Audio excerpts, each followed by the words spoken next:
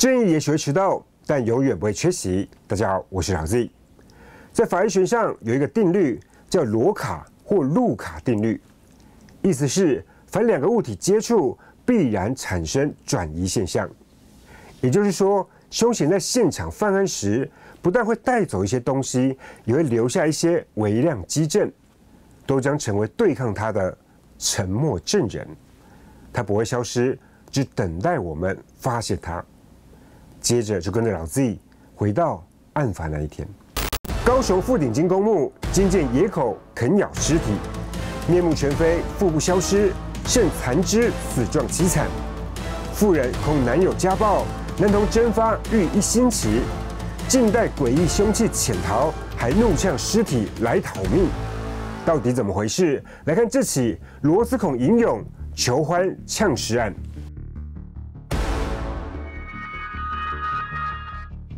时间回到二零零四年一月十九日，地点在高雄市的富鼎金公墓。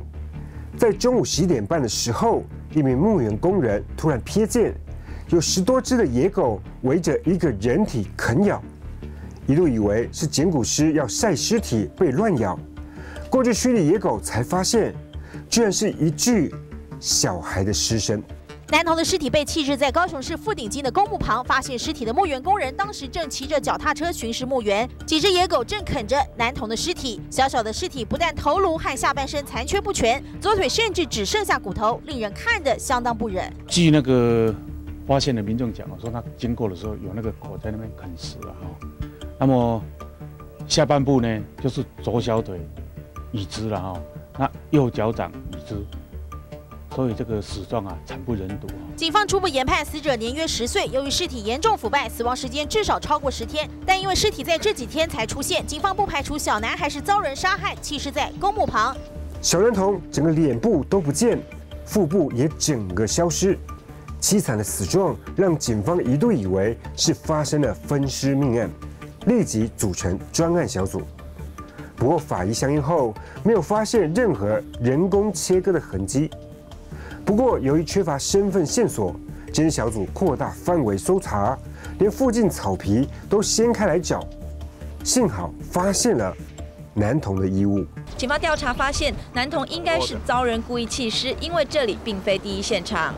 旁边都是那个草杂草嘛，哈啊，放在那边哦，也没有发现什么迹证，都没有什么迹证。那个草皮没有被踩过的。这些草坪都没有被踩过，应该是丢在那边的。男童被狗啃食的残缺不全，目前唯一可辨识的是身穿灰色的短袖横条上衣、黑色长裤。目前警方正清查全国的失踪儿童，调查男童的身份，同时也呼吁家中如果有十岁左右的失踪男童，请与警方联络。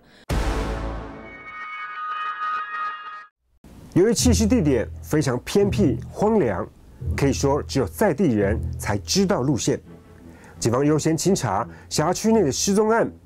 果然，八天前，一名单亲妈妈才说，她十一岁大的儿子小周离奇失踪，怀疑是交往两年的男友郑春忠趁机将孩子掳走杀害。警方当天晚上就到男友住处找人，却扑空，结果发现他躲在隔壁空屋的楼梯间，还拿着一把十字形的螺丝起子，只是上头干干净净，验不出东西。住家也没有相关基证，加上当时还不知道男童已死，只好将他请回。但现在尸体找到了，带他去认尸，反而对着尸体咆哮：“周啊，如果是我打死你的，怎么样都没关系，你来找我讨命。”坚定的态度让警方一度动摇。只是他嫌疑最大，该怎么办呢？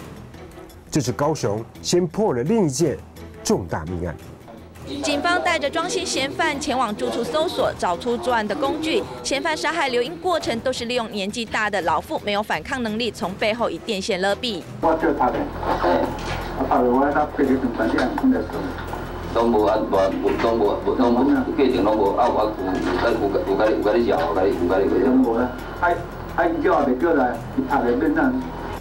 庄姓嫌犯杀害了第一名七十岁的刘英之后，害怕住在隔壁六十八岁的刘英检举，三天之后干脆一起杀人灭口。庄天柱一连杀了四个人，警方从电线跟死者断裂指甲上发现唯物基证，才将他绳之以法，就是靠着开头提到的罗卡定律。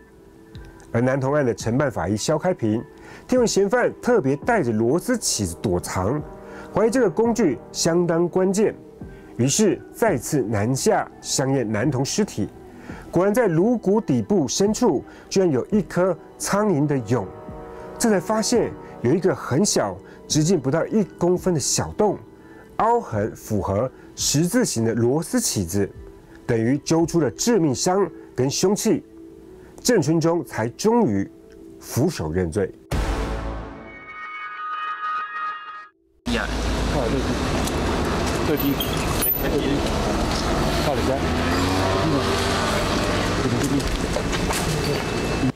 被警方锁定涉及男童命案的郑姓男子一到案，立刻被警方带往富鼎金公墓模拟当时的状况。戴着头套的郑姓男子指着这根坚硬的水泥柱说：“他就是在这里将男童的头撞水泥柱，将他撞的是奄奄一息。”这个，一个一个后脑吗？后脑我回家了，对，我都回家。小周母亲靠着打零工为生，跟男友交往两年，已经打算分手。郑俊忠为此不满，时常动怒，动手打母子俩。一月十日当天上午，郑俊忠性急想求欢，遭拒绝，再度怒打两人数巴掌。小周母亲为了躲避暴力，只好先答应。之后不但跟孩子去报警家暴，晚上幽会还放鸟，让郑春忠更加恼羞成怒。昨晚间，他在鼎一街这边巧遇男童。先揍一顿后，再带到公墓暴力泄愤，接着用螺丝起子刺入头颅跟右腋下，随即弃尸逃亡。警方带着嫌犯前往公墓，说明当时到底是将尸体丢弃在哪里。这个你家的，这个比较对啊，闭嘴闭嘴，闭嘴为止。这个公墓并非是第一现场，嫌犯供称，在案发当天，在高雄市三明区鼎永街这里先殴打小孩，结果男童的头撞上了路边的水泥柱，重伤。前几天哦，这个凶险有打死者，还有他的母亲，因为他去报案，所以他怀恨在心了，就在这边发生的。原来四十岁的郑姓嫌犯是男童母亲的同居人，本来就经常打小孩和母亲。男童十多天前曾经前往派出所报案，结果被嫌犯知道之后，竟然将他活活打昏，再丢弃在富鼎金公墓，任凭男童死亡。进入法院审理后，法官认为他只是因为女友刻意疏远，竟然就迁入男童并杀害，心性手段之残忍，且饭后未坦诚犯行。二零零六年三月三十日，判处无期徒刑，三审定验。只是谁也没料到，十六年后，富鼎金公墓再度发生野狗啃尸事件。公墓山坡围起封锁线，监视人员在现场采证，等待检察官跟法医到场初步相验。发现婴儿尸体的地方就在高雄市富鼎金公墓园区双湖公园的大坪雨衣墓后方，几乎没有民众会从这里经过。三号下午一点半左右，是施工的工人在现场发现婴尸。啊，发现有一个啊婴儿的一个头部啦。那我们警方现在也积极在啊侦办啦，啊已经报请啊检察官啦，指挥侦办。当时这名工人在现场进行山坡绿化施工，闻到恶臭味，上前查看，才发现草丛堆里的婴儿脸孔，尸体被垫子包覆住，摊开来才发现疑似遭到流浪狗啃咬，居然只剩下头颅。哦，目前从初步的外观啊，没有办法辨识说这个男婴是男生还是女生。动物啃咬过吗？这个部分呢，还要等法医法医勘验以后。害人的狗啃婴尸案立即登上社会新闻版面。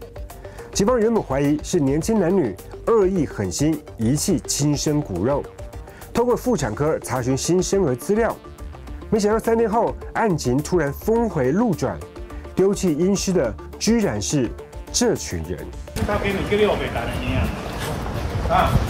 面对记者的提问，没有回应，被警方带回警察局的就是涉嫌丢弃阴尸的董姓嫌犯。警方调阅监视器，发现共犯还有他们经营礼仪公司的卢姓业者，被带回时还用手遮着脸。原来业者接受医院托付要处理产后死胎，结果他却交办给郭姓女子，女子没有处理，再转第二手给董姓男子，结果居然是直接丢弃公墓。啊，随意的丢置啊，啊，导致这个阴这个尸体啊，啊遭毁损啊，好全案啊，我们依啊遗弃尸体罪啊，啊移送地检来侦办啊。小朋友爱先号一个名去办火化许可证，啊了后去火化场火化呢。过去传统没有法规规定，但现在必须要取得火化证明才能做后续处理。嫌犯随意丢弃的行为，也让过往的小生命不能够安息。无法顺利出生的死胎，遭无良殡葬业者低价转包，最后无法入土为安，令人傻眼。以上就是今天的故事。嫌犯郑春中一个心虚举动，成了破案的契机。只是反向思考，如果他没拿走螺丝起子，警方想顺利破案，恐怕就没那么容易。我是老 Z，我们下集见。